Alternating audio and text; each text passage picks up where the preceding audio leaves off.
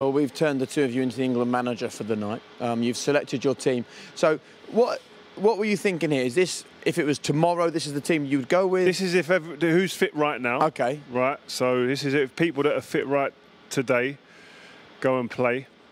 Um, I think Trent Alexander-Arnold's been the best right back in in in the, in the world for the last two years.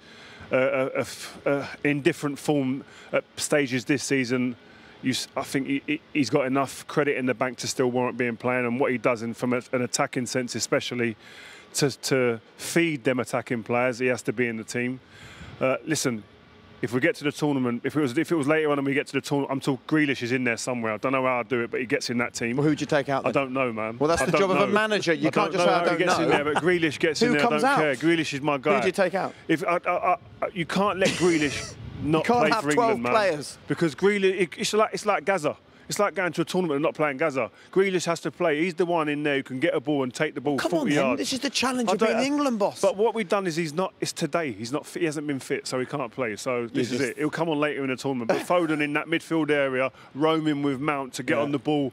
I, Rice just feeding them boys. Just give it to them. Ten yarders, twenty yard passes. Feed them boys, and you just secure in front of the back four, and then that front three.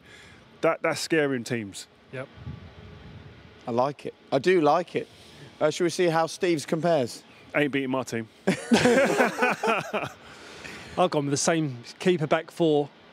Alexander getting Oh, you've high. got Henderson. Sure, I've got I've just, Joe Wyatt just because of experience and what he brings to the team and the squad. Two With- holding midfielders you've No, gone no, for. listen, I've gone because Alexander Arnold will be getting four. Look at him last night, crosses into the box. Henderson coming to that false fullback.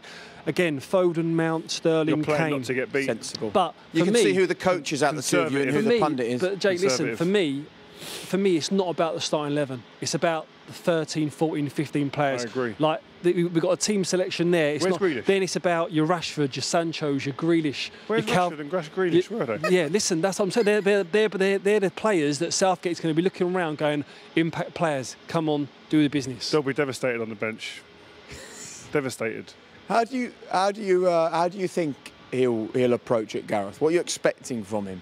Knowing Gareth, but I was I actually came on for him in my first ever game for England against Cameroon. He came off injured, thankfully. Um, but um, I just feel that he, he, from what we've seen from him before, I, I feel he'll err on the side of conservatism. I think he'll, he- conservatism. I think he'll just play not to get beat at, at first, maybe, especially against Croatia. Yeah.